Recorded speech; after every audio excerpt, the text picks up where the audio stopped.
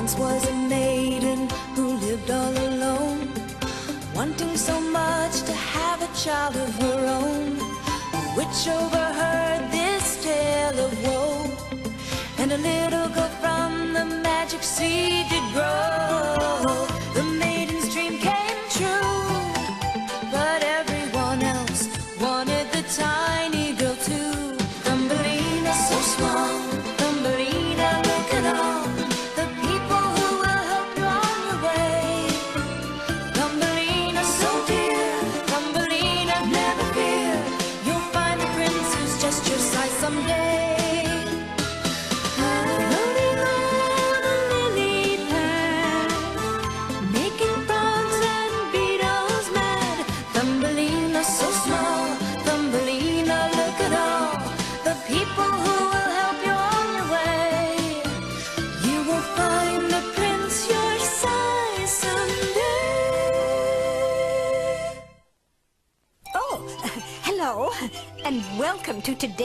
Story, a delightful tale which begins in this little village filled with happy singing birdies singing a happy tune, and villagers, happy, happy villagers, young and old, old and oh so very young. But what do we find in our happy village but an unhappy maiden? Unhappy for she wanted a child of her own so badly. Not knowing just where to get one, she went to the home of the local witch for help. Poor dear. Yes. So, what is it you want, my Speak up now. Um, is it true that you can grant any wish? Any wish at all? They don't call me a witch for nothing, Missy. Now let's get down to business. I would like a child of my own more than anything else in this whole world, but I don't know where to get one. Well, that's simple. Why didn't you say so right off? there you are. One wish to go. A magic barley seed of your own. A magic barley seed? That's right. Take it home and plant it and water it overnight. But how will that get me a child? Ah! so many questions. Now just say thank you and go home. Thanks, old witch. I guess. And hoping that she guessed right, the young maiden went back home and did as the old witch had instructed her. She buried the barley seed, and that night she prayed. And was her prayer to be answered? Well, let's just say her dream began to blossom right before her very eyes. Oh, it's a flower. Oh, I love this part. Grant my wish. It's a beautiful child. Tell me, child, what's your name? Well, then, I think I'll just have to give you a name. Why, you're no taller than my little thumb. I think I'll call you Thumbelina. Thumbelina. That's me? And from now on, I will be your mommy and love and care for you. Really? That's so nice. Oh, yes. Now, what must we do first? I know. We have to make a bed for you. And the maiden made a very special bed from the shell of a walnut, covered her with a rose petal, and Thumbelina loved it. Good night, my lovely flower of a child, and may sweet dreams be yours. Good night, sweet dreams.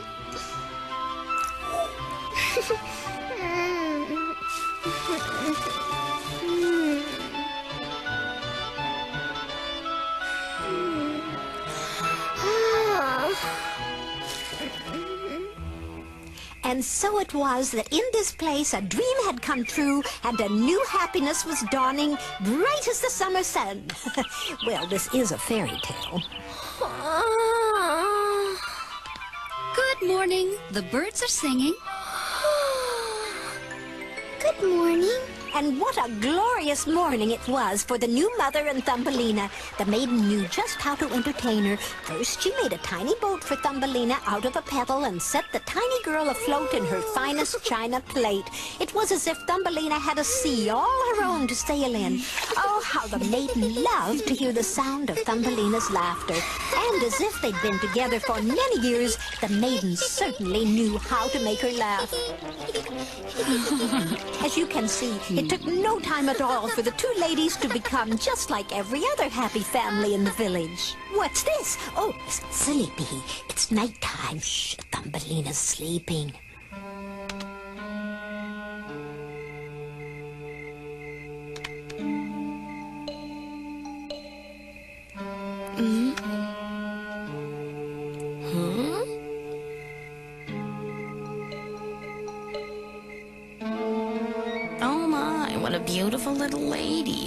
Perfect wife for my son, and then they can have a pet all their own. Ooh. Wait, uh, what's happened to Thumbelina? Oh, there she is. Huh? But Thumbelina awoke to find herself out in the middle of a pond. Frog napped, and she began to cry. Hey, what you crying about there, little girlie? I want to go back to my house and mother. But you see, you are home, and I'll be your mother after you marry Junior here. You'll make a perfectly lovely bride. There's no way I can marry a frog. Dear little thing, why fret? This is clearly a time to jump for joy. No, I will never become the wife of a toad. Never. Junior, stop teasing the sweet little waif. We must go and prepare her wedding chambers. Come on now, up to it. Oh, poor, poor Thumbelina. And just as it seemed like things couldn't get any worse. Now we're gonna take your beautiful bed and stick it in some delightful fresh mud for you. That's right. Ta! Oh, poor, poor Thumbelina.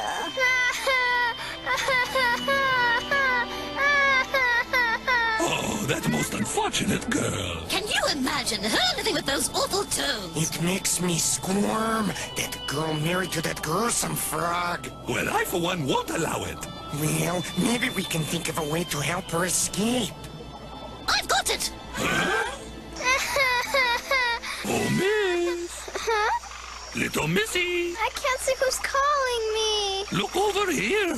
Here in the water. Why, hello there, fish. We are going to help you solve your problem. You don't have to get married. I don't? No, it's hopeless. I'm stuck here on this pad. You just leave everything to us and you will be free as the breeze. Hmm? Let's do it. Oh, right, super, let's go!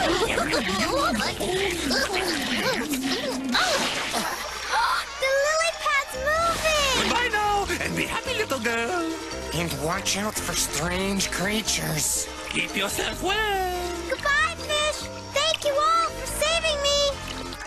At last, Thumbelina was free. Free to venture out into the world in search of her happiness. Free to explore her horizons. Free to look in no direction but ahead. Hey, you! Wait! Well, maybe not completely free. Just when I thought I was free to search for my happiness. Oh, no, you won't get away so easily.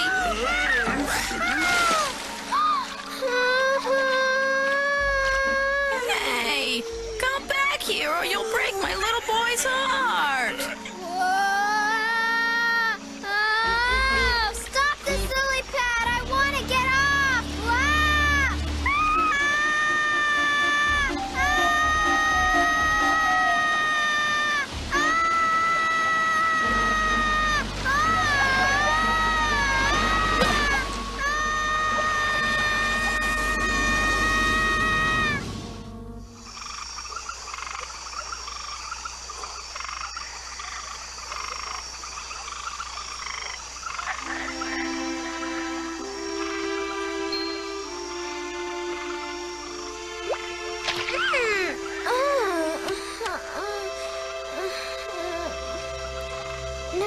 The world did I end up? Wow, what a beautiful butterfly! Hello, Mr. Butterfly. Hello, tiny lady. You're such a happy and beautiful creature. Oh, Why, thank you. I'd be happy too if I could fly. Well, you can. You're a silly. You have to have wings to fly, and I don't have any. But I do. To let you borrow them so you can go anywhere you want in the whole wide world. Hmm? Whee! See, I told you you could borrow my wings. Look at that. What an interesting specimen to take home to the family. Gotcha. Hey, come back! Hey, you beetle, come back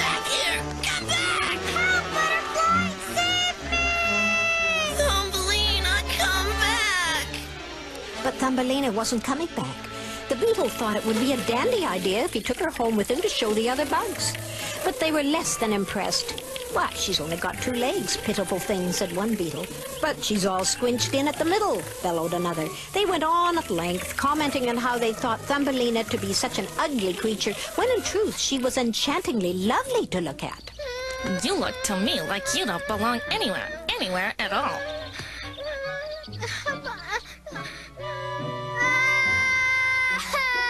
now even the beetle who found Thumbelina began to feel she was a nuisance. Well, she does have a tendency to cry a lot. Hey, time to go on another journey, kid. The beetle flew high above where he and his family had been, and carrying Thumbelina, he traveled for what seemed to be a very long time until he saw the woods up ahead. He flew down into the woods, found a very beautiful flower, and gently placed Thumbelina upon it. I sure thought you were cute when I found you, but my family couldn't see past their wings, so I'm gonna buzz off now. Take care of yourself. And he left Thumbelina all alone. Through the scary nights and the lovely summer days. Now, after all the trials Thumbelina had been through, she'd become a very resourceful little person, drinking her fill from the morning dewdrops and filling her belly from the fruits she found growing wild and abundant in the woods. Come on, you can do it. Good for you. Oh, whoops.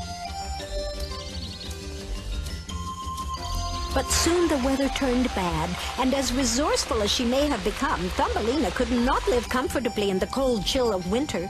You see, each snowflake which fell from the sky was enormous to Thumbelina. What to you or I would seem small and harmless, to Thumbelina felt like one shovelful of snow after another, dropping down on her tiny head. And by now, after all her travels and adventures, her clothes had become worn and tattered. They were barely enough to warm her.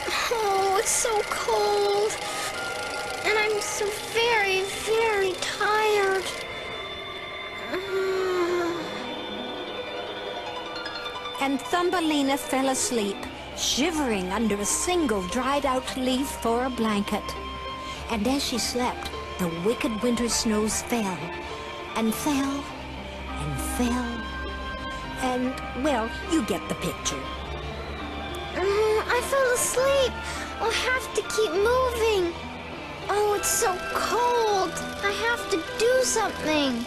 So Thumbelina did do something. She walked as far as she could and as fast as her little feet could carry her.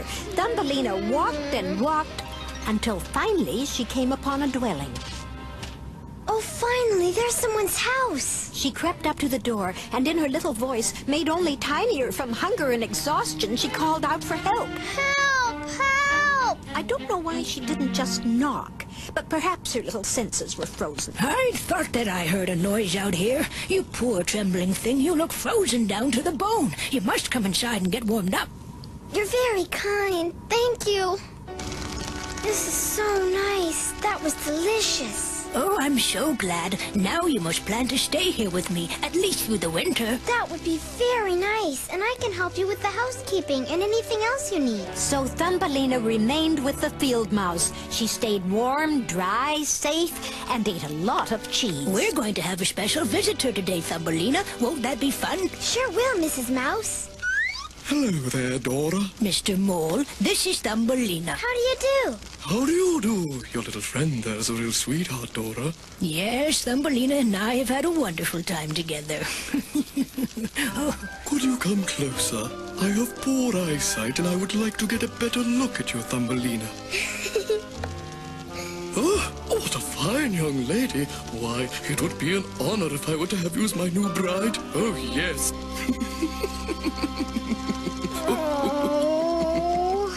Oh.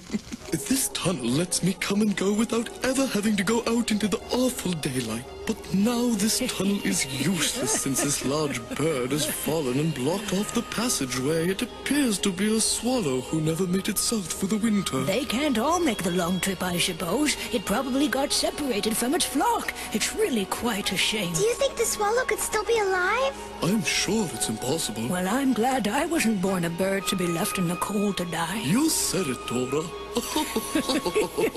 But Thumbelina didn't think this anything to laugh about, and when the moon was high and she was sure that the field mouse was deeply asleep, she stole down the stairs into the cold passageway. She brought with her a big blanket of fresh woven wool. Thumbelina knew what it felt like to be cold and didn't like the thought of the poor bird lying bare against the frozen earth. That should keep you a little bit warmer. Mm. I can hear a heartbeat, so the swallow must still be alive. Either that or her wool blanket was. so Thumbelina tended to the sickly swallow. She brought water for it to drink in the petal of a rose, and the bird slowly began to revive. Uh, if it weren't for you, I most certainly would have died down here. Shh. You're still very weak.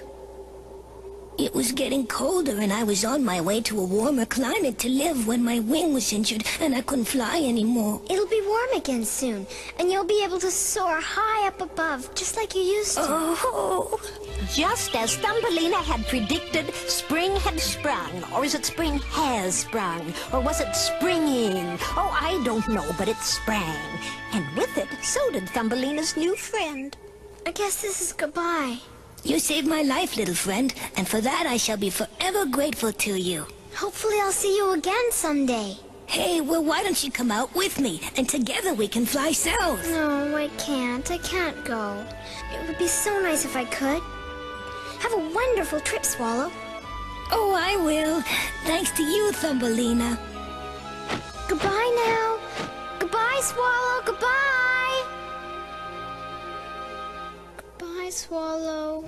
Just like that, the swallow was gone, and the woods were quiet, and time passed, and soon it was Thumbelina's wedding day. Why, Mr. Mole, you make the most handsome groom I've ever seen. What a lucky bride our Thumbelina is to be marrying you. so where is my lucky little bride? Funny, she was just here a moment ago, but now that you mention it, I don't think she's anywhere in the cottage. Now, where would a girl run off to at a time like this? She was outside, taking in her last breath of fresh air, because Once I'm married to Mr. Mole, we'll live underground and I won't be allowed outdoors again. I've come to say my last goodbye to the beautiful sky. Goodbye, beautiful sky. Goodbye, lovely birds.